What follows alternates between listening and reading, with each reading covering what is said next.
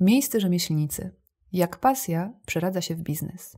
Dzisiejszym gościem będzie Piotr Jędras, z wykształcenia architekt. W 2013 roku równolegle do pracy w pracowni projektowej wrócił do hobby z młodości, czyli ręcznego wykonywania noży. Obecnie właściciel i główna siła napędowa marek Kłosy i Knife Doctor. Od kilku lat prowadzi również kursy oraz szkolenia związane z wykonywaniem i ostrzeniem noży. Dzisiaj porozmawiamy o tym, przed jakimi wyzwaniami projektowymi i biznesowymi stoi, co składa się na sukces marki, jak nabywa umiejętności. Dowiemy się, jak weekendowe hobby stało się prężnie działającą manufakturą, co wspólnego ostatecznie ma architekt z projektowaniem i produkowaniem noży. Nazywam się Agata Bisping i zapraszam Państwa na podcast.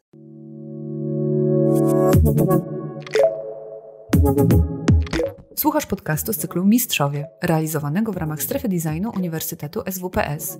Więcej materiałów dotyczących projektowania znajdziesz na design.swps.pl oraz w kanałach multimedialnych naszego projektu na YouTube i Spotify. Zapraszamy!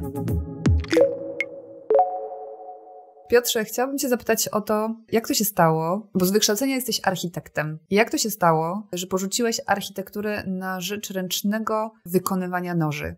Tak zawodowo, bo, bo rozumiem, że mm, ten zawód, który uprawiasz teraz, to już jest Twoje życie, e, Twój biznes. I rozumiem, że mogło to być hobby, które gdzieś pomagało zmagać się z rzeczywistością, odpocząć, nabrać trochę dystansu. Ale co takiego zrobiła Ci architektura, że postanowiłeś się porzucić i zająć się ręcznym wykonywaniem noży? No ja właśnie nie mam jakiegoś wielkiego zarzutu ani ciężkich myśli związanych z architekturą. I no nawet często się pojawia taki temat, że, że ktoś tam e, rzucił korpo na przykład i wyjechał w Bieszczady.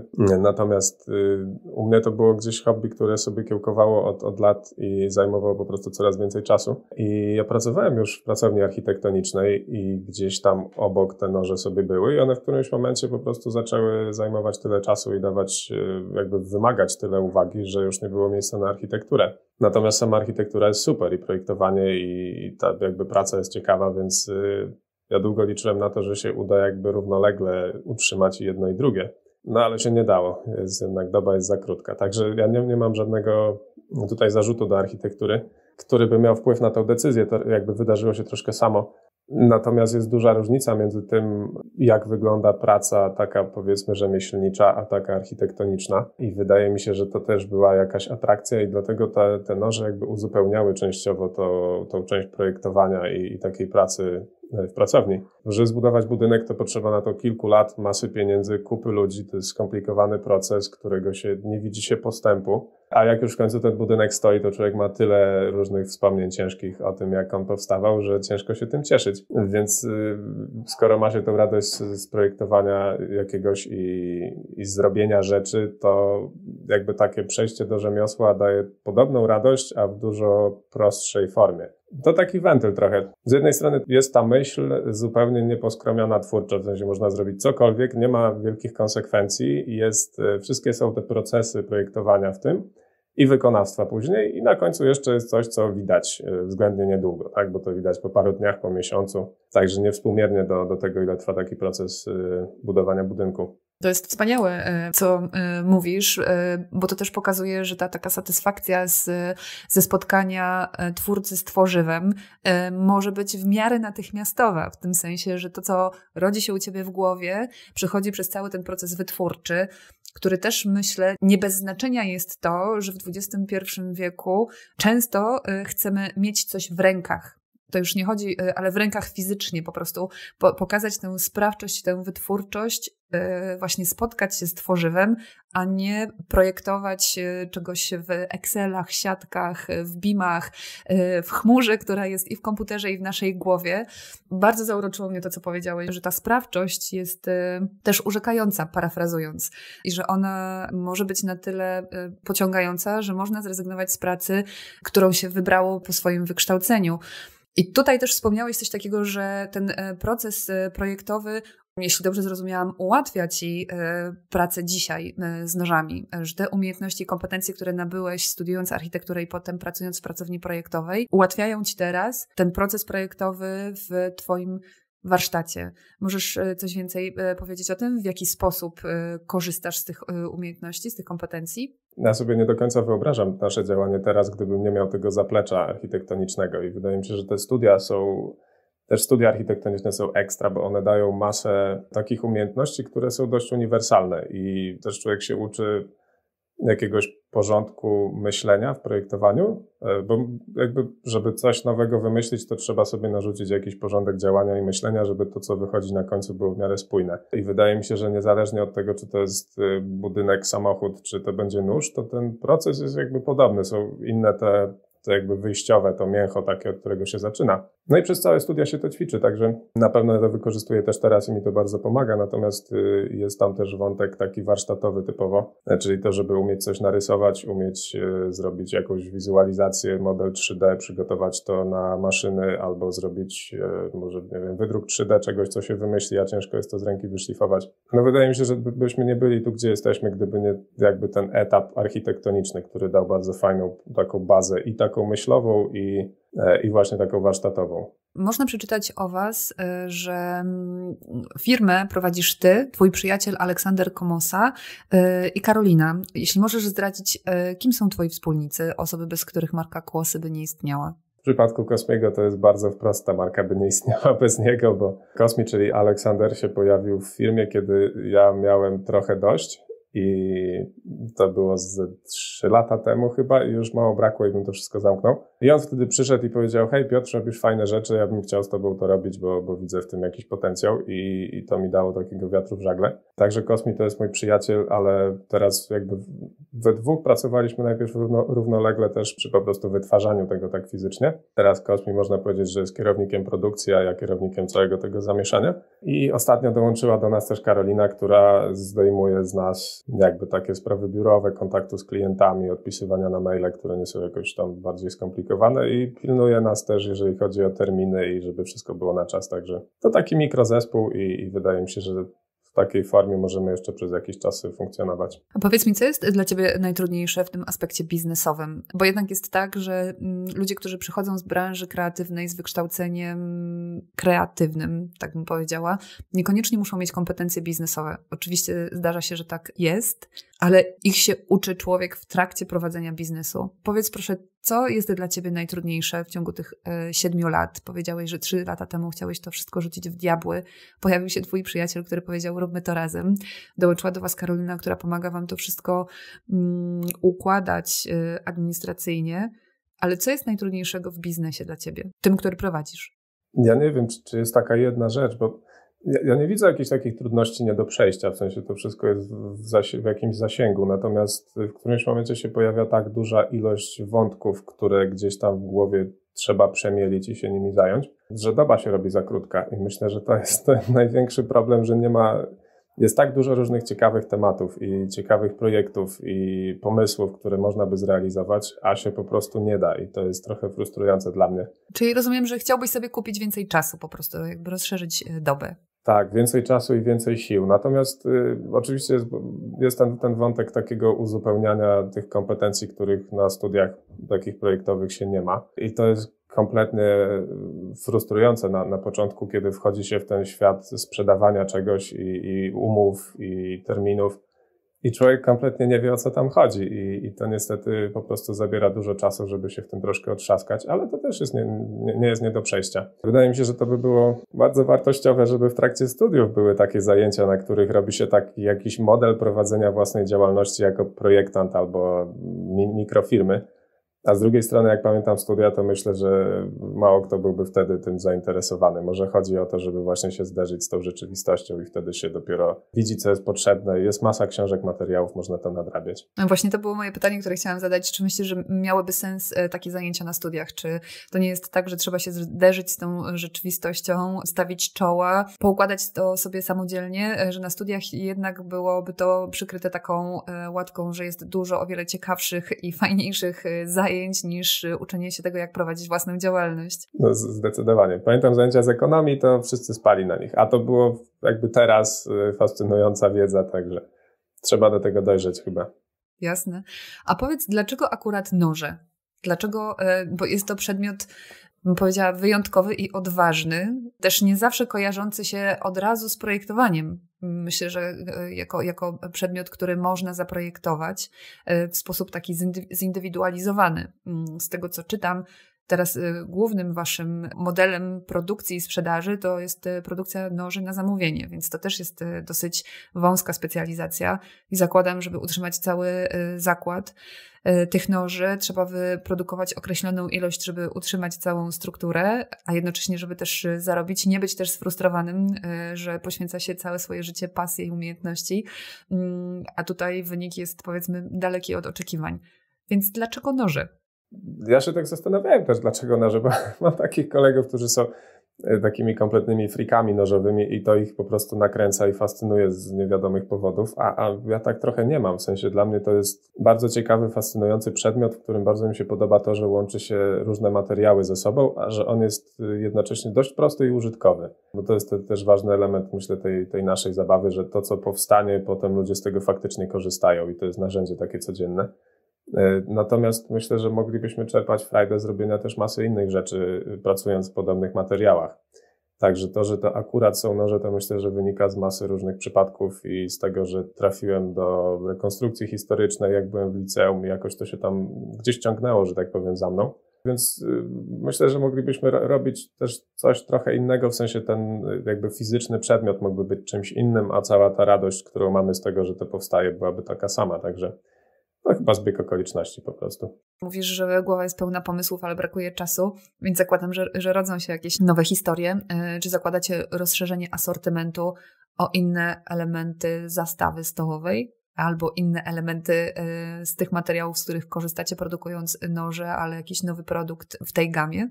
Jest tu kilka potencjalnych takich nisz w niszach jeszcze i jedną z nich na pewno byłyby noże stołowe albo takie noże dla restauracji, które raz na jakiś czas robimy. To są dla mnie super ciekawe projekty, takie krótkie serie. Natomiast wydaje mi się, że jakby poszerzanie tego, tej jakby gamy możliwych rodzajów ostrzy w tym momencie byłoby dla nas szkodliwe i dla klientów trochę rozpraszające. W sensie myślę, że mamy i tak na tyle szeroką tą, tą ofertę, że można tam albo dobrać coś, co już jest, albo dopasować to, co w tej ofercie jest do konkretnych potrzeb. To często nam się zdarza, że ktoś zamawia konkretny nóż, który już wiadomo jak wygląda, ale na przykład zmieniamy w nim szlif, robimy inną rękojeść albo coś tam dopasowujemy. Natomiast yy, myślę, że to by mogło zatrzeć jakby to, czym my się zajmujemy. Tak jak kłosy się kojarzą, że to są bardzo dobre noże kuchenne, to myślę, że lepiej, żeby tak zostało. Więc może jeżeli będą jakieś nowe projekty, to się pojawią pod, y, po prostu pod nową marką. Natomiast y, poszerzamy materiały na przykład, z których korzystamy i do, dokładamy nowe, także jakby można zamawiać powiedzmy te same standardowe, dobrze sprawdzone typy noży, ale w większej ilości, w ciekawszych materiałach, w bardziej egzotycznych stalach i dziwniejszych drewnach także. Rozumiem, że ty jesteś e, weryfikatorem tych wszystkich nowych materiałów i, e, i, wielkim poruszycielem tych wszystkich materiałów, które znajdują się w portfolio kłosów. A powiedz proszę, ile osób pracuje z tobą nad wytwarzaniem noży? No teraz pracujemy we trójkę. Y, współpracujemy też z kaletnikiem y, Mateuszem Grybczyńskim ze Stropy, który nam pomaga w niektórych projektach i też załatwia wszystkie te skórzane tematy. Wspólnie też prowadzimy zajęcia. Zdarza się też, że jak mamy jakieś duże obładowanie, to po prostu mamy ludzi, którzy gdzieś tutaj wokół nas, że tak powiem, krążą i jeżeli potrzebujemy pomocy, to wpadają. Także to jest tak między 3 a 5 osób w zależności od sytuacji. Czytam, że nożami marki Kłosy pracują na co dzień dziesiątki kucharzy. Można nimi kroić w najlepszych restauracjach i spotkać w kuchniach entuzjastów gotowania w Europie i na świecie. To gdzie?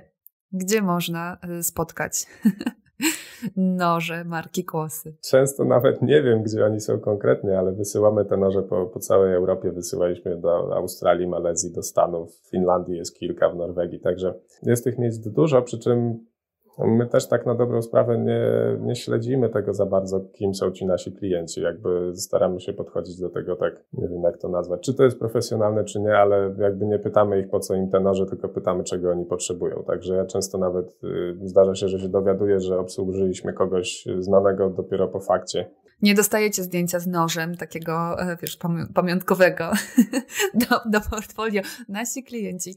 Bardzo to jest zawsze e, fajne, jak, jak ktoś dostanie taki nóż i na przykład nas oznaczy potem na Instagramie i widzimy, że to, co zrobiliśmy, daje dużo radochy. To jest e, i dla mnie jakaś satysfakcja i też dociera to do, do ekipy i oni też widzą, że to, co robią tutaj, ten, ten codzienne jakieś zmagania mają fajny efekt i kogoś cieszą. Także. Jasne, myślę, że jest to też bardzo budujące i satysfakcjonujące. Nie pytacie, co robią z tymi nożami, ale czy pytacie, skąd wiedzą o waszej marce? O kurczę, powinniśmy pytać, ale ja jestem głupi trochę i nie ogarnąłem i rzadko o to pytamy tak naprawdę. Często jest tak, że oni sami mówią, że hej, kolega coś miał, więc wiemy, że dużo ludzi przychodzi do nas, bo widzieli nasze noże u kogoś, czyli trochę z polecenia, ale Niestety jeszcze nie zrobiliśmy takich narzędzi, żeby jakby standardowo pytać ludzi, skąd o nas wiedzą. Także to jest trochę błąd, no ale cóż, to jeden z tych dobrych pomysłów, który czeka na realizację po prostu. Bardzo mnie zastanawia, skąd marka kłosy, bo jednak kłosy nie kojarzą się w oczywisty sposób z nożami. Jest to jakby e, da daleko posunięta metafora, ale być może ja nie przygotowałam się tutaj y, zbyt dobrze. Czytam, y, że to jest miejscowość, w której kiełkowało hobby związane z wytwarzaniem y, noży, złotokłos. Rozumiem, że to jest jakieś nawiązanie sentymentalne do miejsca, w którym to wszystko się zaczęło. Tak, tak, tak, bo Złotokłos to, to jest moja wiocha. Ja tam się wychowywałem, wprawdzie nie urodziłem, ale właściwie całe moje życie takie początkowe tam się toczyło i ja też jakby nie planowałem może, że ta firma się rozwinie w coś takiego, yy, natomiast miałem taki plan, że kiedyś warsztat się przeniesie ze Złotokłosu gdzieś, yy, bo prawdopodobnie no to, to jest dom rodzinny, więc jakby nie, nie zamierzałem tam siedzieć yy, przez całe życie. I chciałem sobie zostawić jakiś taki element, który by przypominał, gdzie to się zaczynało, no i właśnie stąd, stąd są te kłosy. No też dużo było różnych rozważań na temat tej nazwy, że może głupio, że tam jest to EU polskie, więc to ciężko za granicę, a, a z drugiej strony to jest też fajne i bardzo charakterystyczne i bardzo polskie, także też jak ktoś, tak jak patrzymy na przykład na te norweskie O takie przekreślone, to od razu widać po nazwie, że to jest z Norwegii, tak, tak mam nadzieję, że może te nasze kłosy też jak wyjdziemy za granicę szerzej będą jakby charakterystyczne przez to. Natomiast z nożami się to zupełnie nie kojarzy i szczerze mówiąc to mi to zupełnie nie przeszkadza, w sensie najczęściej te nazwy producentów noży są imię, nazwisko Knives i, i tak samo jak ktoś robi zdjęcia, to jest imię, nazwisko fotografii. A to bardziej miała być y, jakaś nazwa pewnego projektu, jakiegoś, jakiejś koncepcji. Jeszcze nie było do końca wiadomo, w jakim kierunku to będzie szło, więc teraz też pod tą nazwą się dzieją różne rzeczy. Głównie nożowe, ale ale też może nie tylko y, za jakiś czas. No nie jest to przypadek y, i daje mi to trochę takiej, takiej radości, takiego przypominania, skąd się to brało. Także na początku wspomniałeś y, o tym, że zacząłeś zawodowo zajmować się nożami, dlatego że, tak jak rozumiem, ta radość z przebywania z dziełem czy też przyspieszenie procesu wytwórczego dawała Ci dużo więcej satysfakcji. I tutaj e, chciałabym zapytać o to, co robicie też, jak wspominałeś ze swoim kaletnikiem, że zagospodarowujecie przestrzeń i miejsca dla osób, które chcą coś wspólnie razem zrobić. Obserwuje się teraz taki, e, taki powrót do spotkania i do wspólnego spędzania czasu, ja to e, nazywam w piwnicy albo w garażu, bo kiedyś było tak, że nasi ojcowie albo dziadkowie mieli swoją piwnicę, swój garaż, tam były madła, wiertła, wiertarki, paski linowe, Y, papiery ścierne i mnóstwo różnych rzeczy. Wydaje mi się, że nasze pokolenie od tego bardzo odeszło, właśnie na rzecz y, konfrontowania się, czy też pracy w tych chmurach, dyskach, online'owych historiach, a teraz chętnie wracamy do źródeł. I tutaj pojawia się takie pojęcie jak y, miejski makers, miejski rzemieślnik, czyli ktoś, kto jest chętny spotkania z tworzywem i wyprodukowania czegoś pod okiem mistrza. Powiedz mi, jak to u Was y, kiełkuje, już będąc w tej narracji, że tak powiem, roślinno-kłosowej? Y, skąd ten pomysł? Y, gdzie go rozwijacie? Jak można spotkać się z Wami teraz i wziąć udział w takich warsztatach? Du dużo pytań. E, dużo pytań, ale to, to jest też wątek, który bardzo lubię, bo jak jeszcze byliśmy na wsi, tam pojawili się ludzie, którzy mówili, że hej, robicie ciekawe rzeczy, ja chciał się nauczyć robić nóż albo zrobić z Wami nóż, a my nie bardzo mieliśmy jakąś możliwość ani czas, żeby takich ludzi przyjąć i coś sensownego im zaproponować. I poniekąd stąd się pojawiła też przeprowadzka całej pracowni do Warszawy, żeby wyjść naprzeciw takim pomysłom i zrobiliśmy wtedy serię warsztatów, takich, e, serię warsztatów Zrób Nóż, gdzie przemyśleliśmy to, przygotowaliśmy program i po prostu ściągnęliśmy ludzi do siebie, e, żeby z, z nimi te noże robić i robimy to od tamtej pory do dzisiaj właściwie co któryś weekend. I działa to świetnie i z jednej strony no, przychodzą tam bardzo różni ludzie, więc to jest też ciekawe doświadczenie takie jakby patrzenia, jak różne grupy mają takie potrzeby właśnie, żeby posiedzieć razem, zrobić coś rękami, zobaczyć, co z tego wyjdzie. Natomiast y, w związku z tymi warsztatami też pojawiły się wtedy kolejne pytania, ej, a ja już zrobiłem jeden nóż u was, ale to bym chciał może wpaść na kolejne warsztaty, bo było bardzo fajnie i chcę zrobić kolejny. Więc wtedy się zrodził taki pomysł, żeby udostępniać pracownię y, po prostu na godziny, tak na zasadzie przyjdźcie, korzystajcie ze wszystkiego, co tu jest i zróbcie, co chcecie. No i to był strzał w dziesiątkę, który może nie jest jakimś e, finansowym, biznesowym e, ekstra strzałem, natomiast jeżeli chodzi o takie kwestie społeczne i takiej właśnie frajdy twórczej, to jest chyba najfajniejsza rzecz, do jakiej doszliśmy póki co. Także na warsztatach dajemy ludziom jakąś, jakąś taką podstawę, jak sobie nie zrobić krzywdy maszynami i jak zacząć myśleć o, o robieniu takich rzeczy, a potem oni przychodzą i już no tam się dzieją przeróżne rzeczy. Jakieś noże Rambo, noże na zombie, dziwne japońskie ostrza i jakieś wykałaczki, noże w kształcie jamników.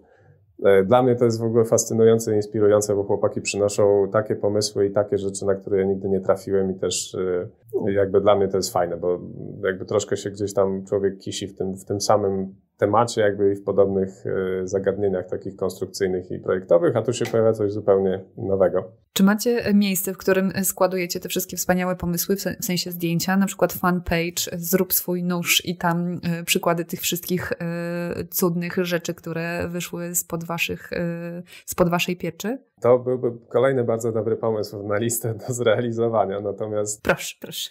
Nie, nie, w tej, w tej, chwili, w tej chwili nic takiego się nie dzieje, natomiast y, co jest może trochę śmieszne, to y, część noży, które powstały właśnie na tym naszym, jak to się śmiejemy, kąciku nożownika, są teraz na wystawie w Cieszynie w ogóle, na takiej wystawie designu tak naprawdę, więc tam no, są te różne dziwne wygibasy i chłopaki są super dumni, że, że te ich wytwory zresztą bardzo ładne i bardzo dobrej jakości y, ta, tam są oglądane przez ludzi. No to, to by było, to jest coś, na co brakuje czasu, w sensie na dokumentowanie tego wszystkiego fajnego, co tu powstaje. No byłaby tego masa już teraz. A powiedz proszę, y, jakich ludzi najwięcej przychodzi na takie warsztaty? Czy to są dziadkowie z wnukami, czy to są osoby, które porzuciły E, pracę projektową na rzecz może bardziej e, lukratywnej, bardziej satysfakcjonującej pracy? Czy to są osoby, które nagle odkryły w sobie chęć stworzenia czegoś nowego i zauważyły, że w obcowaniu z projektowaniem, z innymi ludźmi, z taką wytwórczością znajdują dla siebie wartość?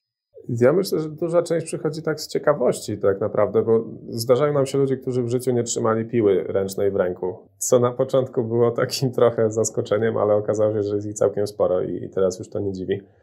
Natomiast y, nie zauważyłem żadnej takiej typowej grupy, która by nam się powtarzała. W sensie mamy, mamy programistów, pracowników biurowych, mamy ludzi, ostatnio mieliśmy strażaka, y, mamy emerytów, którzy przychodzą. Są też pomysły takie, żeby przyszedł ojciec z synem, także E, to to jest bardzo szeroka grupa i nie wiem, czy jest tu jakiś jeden klucz. Co, co jest też takim dla mnie przynajmniej ciekawą obserwacją, że niezależnie od tego, jaki zawód ktoś ma, to niektórzy ludzie mają, jakby przychodzą już z taką większą świadomością rąk, a inni jej w ogóle nie mają. I nie mam tu też żadnej prawidłowości. W sensie są ludzie, którzy nigdy nie robili tego, co mają zaraz zrobić, i jednemu to idzie lepiej, a drugiemu to idzie gorzej, i tak się zastanawiam, z czego to się może brać. No ale jedni mają większą świadomość jakąś chyba wyczucia, wyczucia rąk tego, co one robią. Natomiast wszystkiego się można nauczyć. To, o czym ty mówisz, czyli ta świadomość rąk, to jest coś, o czym bardzo ciekawie mówi e, Ewa Klekot, która jest wykładowczynią na e, School of Form Uniwersytetu SWPS i miałyśmy bardzo ciekawą rozmowę rok temu w styczniu o wiedzy ciała. E, I ona właśnie opowiada o takiej pamięci ciała i styku materii, która ma być przetworzona z, z, z rzemieślnikiem. I jest to fantastyczna pętla, nasza rozmowa i rozmowa z panią Ewą, więc odsyłam też Państwa do odsłuchania sobie tej rozmowy. Wiedza ciała mogą Państwo znaleźć to na naszym kanale na YouTubie. To ja odsłucham z przyjemnością. Zapraszam. Gdzie znajdujesz inspirację? Bo mówisz, że spotkania z tymi osobami, które przychodzą na warsztaty, dają ci taki oddech trochę mm, od tego, co robisz na co dzień, bo w każdej dziedzinie, niezależnie od tego, czy kreatywnej, czy też nie, potrzebujemy tego oddechu i przewietrzenia głowy, i to dają ci te warsztaty i spotkania z innymi ludźmi ale do takiej pracy projektowej codziennej, do wymyślania, jakie nowe materiały, jakie nowe ostrza, jakie nowe krzywizny, kąty, jaki kształt y, samych noży. Czy szukasz inspiracji w tożsamych obszarach, czyli po prostu obserwujesz y, konkurencję, to, co się pojawia nowego na rynku, czy wręcz przeciwnie, jedziesz y, posłuchać opery w Weronie na przykład? A to było super romantyczne.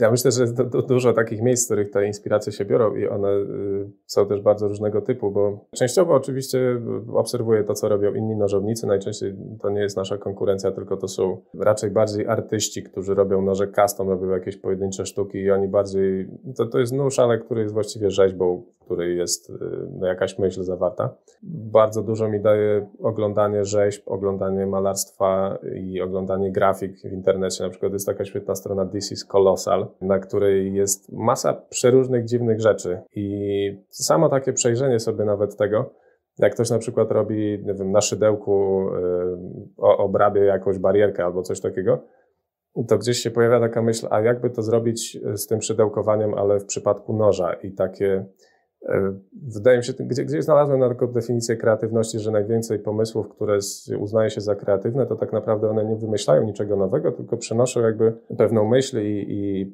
z jednej dziedziny do drugiej. I łączą rzeczy, które wcześniej nie były połączone, ale już obie istniały.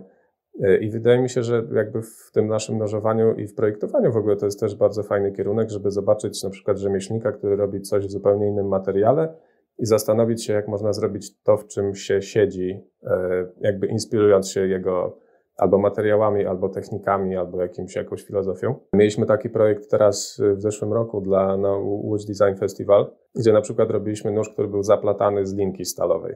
To było inspirowane wikliniarstwem i wyszło to super. Jeszcze to była współpraca z Konradem Baronem, który nam pomógł to potem zgrzać na gorąco. Także zrobiliśmy wyplatany nóż. I kompletnie z choinki, ale właśnie to się brało jakby z zaczerpnięcia do jakiejś inspiracji, czymś, co jest zupełnie oderwane od naszej branży i ściągnięcia tego do, do niej. Natomiast tak najwięcej tej, tej, takiej pracy projektowej u nas tak naprawdę nie jest przy tych naszych codziennych nożach, tylko przy nietypowych zamówieniach, które mamy na przykład dla restauracji najczęściej, jakichś krótkich serii, bo wtedy robimy konkretny projekt od początku do końca dla konkretnego miejsca i potrzeb. I tam najczęściej, tak jak sobie patrzę z perspektywy czasu, to ograniczenia, które nam daje klient są, mają jakby największy wpływ na to, co my na końcu wyrzucimy i one są często takim wstępem do pracy i są bardzo inspirujące tak naprawdę. E, mieliśmy na przykład taki projekt dla, dla Arco, w którym klient stwierdził, że on by chciał, żeby noże, które się pojawią na stole, jak klientowi podadzą, nie leżały na stole, tylko żeby one stały w jakiś sposób. No i to po, podciągnęło ten projekt w kierunku, w którym się trochę nie spodziewałem, bo zrobiliśmy noże, które potem były,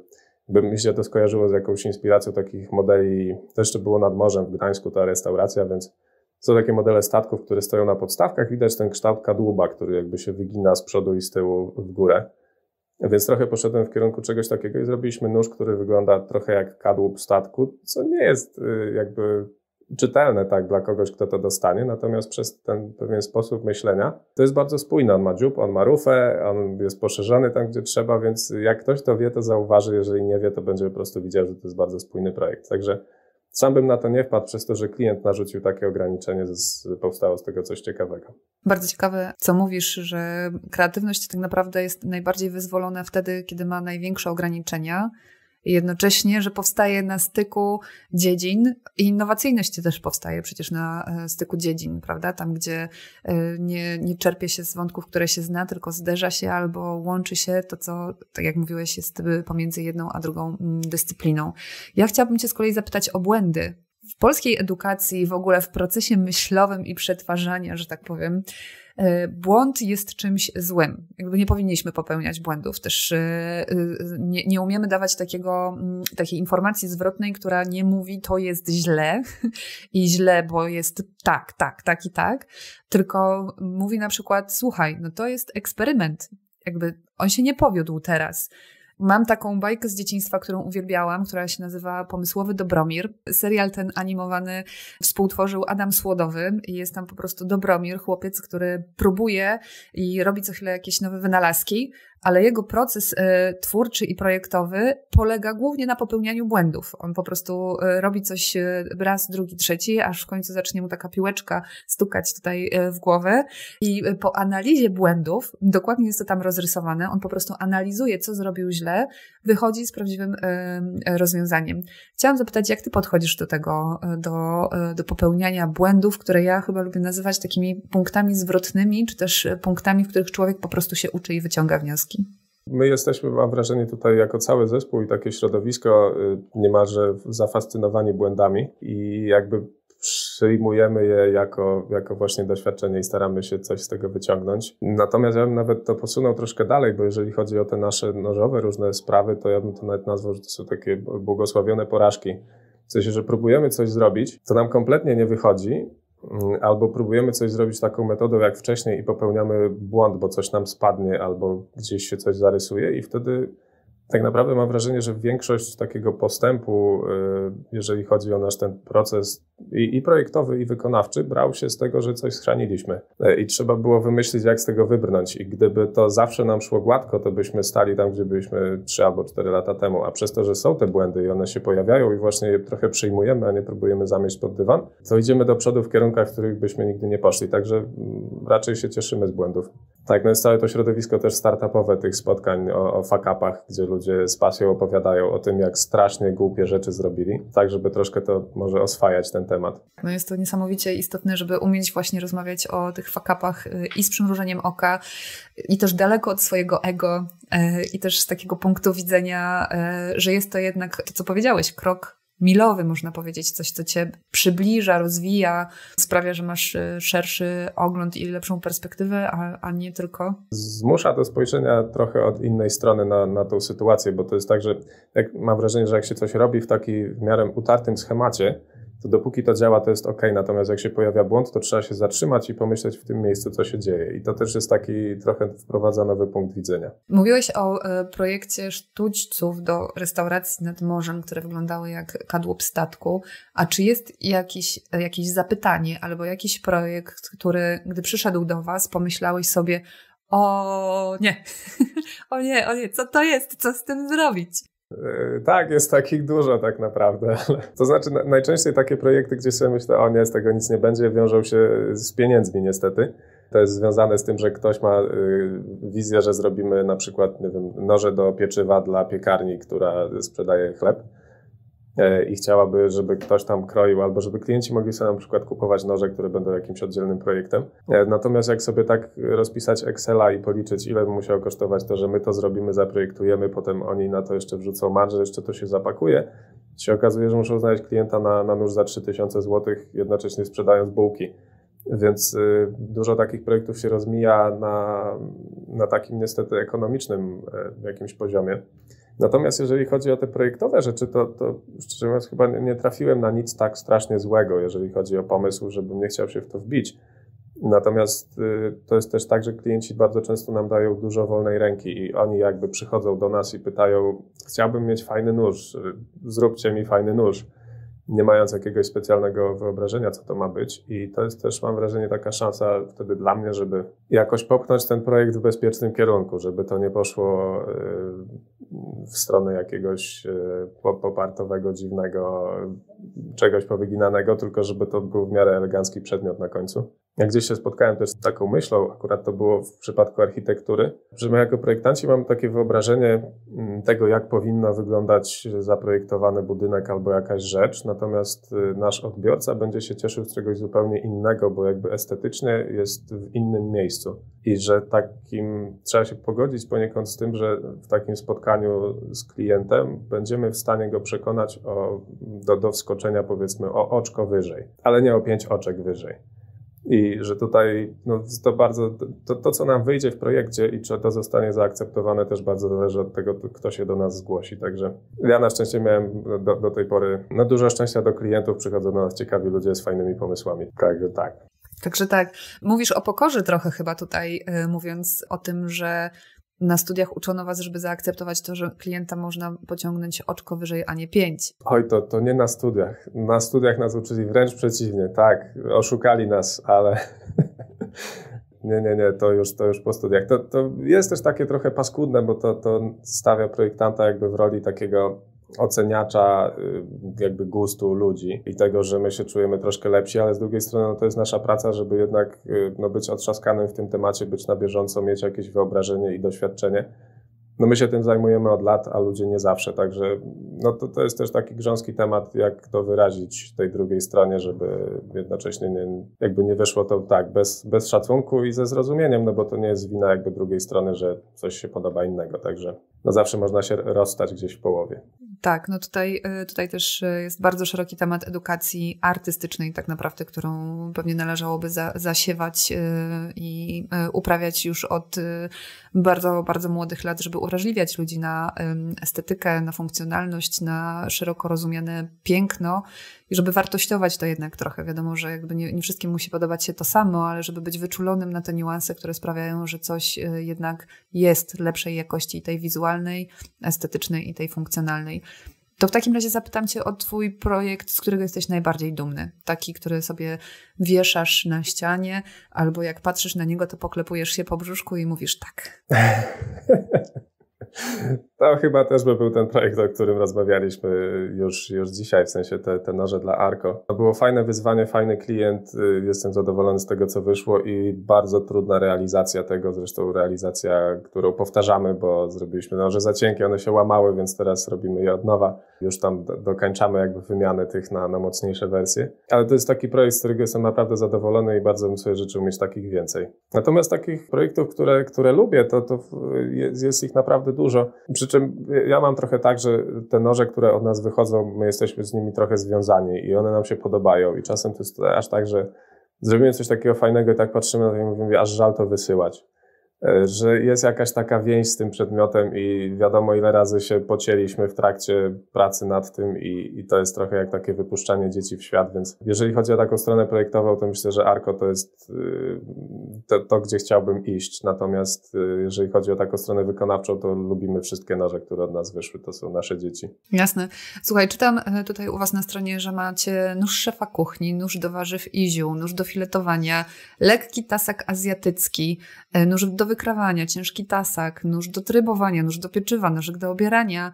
Po prostu wypisz, wymaluj cały asortyment. Skąd wziąłeś wiedzę dotyczącą tego, ile i jakich noży jest potrzebnych? I czy sam je wszystkie testowałeś? Czy sam na przykład trybowałeś swoim nożem? Nie, nie, na szczęście nie, bo ja bym, nie umiałbym stwierdzić, czy to działa dobrze, czy nie. Ja się tym zajmuję już od dłuższego czasu i w związku z tym też miałem kontakt z masą, masą ludzi, więc y, troszkę to było na takiej zasadzie, że na podstawie tego, co znalazłem w internecie i mi się wydawało, zrobiłem jakieś pierwsze ostrza, a potem pozderzałem to z y, kucharzami i szczególnie na samym początku branża w ogóle ta, ta kucharska to jest, y, oni są super zainteresowani wszystkim, co jest nowe, Także nie było trudno, żeby umówić się z kimś na to, że on przetestuje to i da znać, co myśli. W związku z tym to, do czego doszliśmy tutaj, to są lata testów, rozmów z ludźmi, poprawiania tego i faktycznie tych ostrzy jest sporo, natomiast ja z większości z nich tak naprawdę nie umiałbym skorzystać w, w praktyczny sposób. Także z jednej strony to jest mo może źle, a z drugiej strony masz ludzi od tego. Trochę tak i to takich, którzy są dużo bardziej kompetentni i doświadczeni i, i, wiedzą co i jak. Także jeżeli oni są w stanie powiedzieć, co tym robią i co jest im potrzebne, to my potrafimy zrobić narzędzie do tego. Natomiast nie wiem, czy musimy akurat umieć to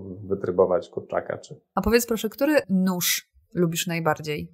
Taki swój nóż, który zrobiłeś, albo projekt noża? To podobnie jak rozmawialiśmy przed chwilą. Ja myślę, że wszystkie jakoś lubię. Natomiast fajne są te, w których właśnie robimy błędy i czasem się zdarzają takie noże, rzadko takie, takie projekty bierzemy, gdzie ktoś zamawia bardzo nietypowy nóż. Najczęściej nie ma na to czasu, ale że jest y, to ciekawy projekt, to ja się czasem na to zgadzam i potem zwykle żałuję, bo to trwa miesiącami. Bo to jest zawsze przejście przez masę różnych prób i błędów i, i aż to w końcu wyjdzie. Natomiast y, to są takie ciekawe projekty, które popychają do przodu, jak trzeba właśnie zrobić zrobić coś, co jest inne niż zawsze. Mieliśmy taki projekt też, to już ładny parę lat temu, ale to, to był taki, wydaje mi się, pierwszy błąd, który doprowadził do czegoś naprawdę ciekawego projektowo. Kiedy mi wcięło już prawie gotowy nóż yy, pomiędzy stolik a taśmę. To jest taki, no to się czasem zdarza, po prostu y, szlifierka jakby szarpie za nóż i zaczyna szlifować nie to miejsce, które trzeba. I zrobiła się tam taka wrzera na grzbiecie, czy na tej, tej górnej krawędzi noża. I jakby tak nie wiedziałem, co zrobić, bo to nóż z drogiej stali, klient już czekał, wszystko było opóźnione, trzeba było y, jakoś na to odpowiedzieć. I wymyśliłem wtedy, że zrobię takie bardzo głębokie, takie jakby fazy na tym grzbiecie, żeby pozbyć się tego nacięcia, które wyglądało tak przypadkowo. I jak te fazy tam e, powstały, to zaczęło to jakoś sensownie wyglądać. Przeprosiłem klienta, powiedziałem, że no tutaj tak wyszło i przyznałem się, że to był błąd, ale że tak tutaj próbowałem z niego wybrnąć. To się super spodobało. I ten klient jak zamawiał kolejne noże, to mówił, że każdy z nich ma mieć też taką fazę, bo to, to jest ekstra. I czasem się zdarzają też ludzie, którzy jak zamawiają u nas noże, to mówią, a bo widziałem u was taki nóż z taką fazą, to jest w ogóle świetny pomysł. No, także są takie noże, w których jest jakiś, jakiś błąd albo coś, coś dziwnego i one przez to zmieniają jakby nas trochę. Także to, to są takie, które lubię, takie, które wnoszą coś nowego. Super. Dziękuję Ci bardzo za rozmowę. Ja dziękuję. Mam nadzieję, że Wasze noże powędrują e, w świat, ale też zagoszczą na polskich stołach. Powiedz proszę jeszcze na koniec, gdzie można zobaczyć Wasze noże i gdzie można je kupić? Zobaczyć je można na żywo u nas przy Tamce 40. Wchodzi się do nas po prawej stronie za drzewkiem, co jest istotne, bo jesteśmy w trochę ukrytym miejscu. E, natomiast warto pooglądać sobie to, co jest u nas na fanpage'u klosy.noze na, na Facebooku. Mamy też Instagrama, e, także warto zajrzeć tam, bo tam są nasze prace sprzed już ładnych kilku lat zbierane. Natomiast w związku z tym, że robimy noże na zamówienie, to one u nas nie zostają. Także jak przyjdziecie do nas, to będziemy mieli pewnie trzy noże na krzyż, także lepiej popatrzeć, co się dzieje tam w internecie. Super, ale zawsze można przyjść do Was na tamkę i rozumiem po prostu skorzystać z warsztatu i spróbować samemu poznać e, stal w tym innym wydaniu, takim ręcznie robionym. Zapraszam na warsztaty, to jest świetna zabawa i można mieć dwie lewe ręce i wyjdzie się po kilku dniach z y, pięknym, gotowym do uszycia narzędziem. Także zaglądajcie do nas i dzwońcie, odzywajcie się, zapraszamy. Super, dziękuję Ci ślicznie. Państwu również dziękuję za to, że byliście dzisiaj z nami i zapraszamy na kolejne odcinki podcastu z cyklu Mistrzowie Strefy Designu Uniwersytetu SWPS.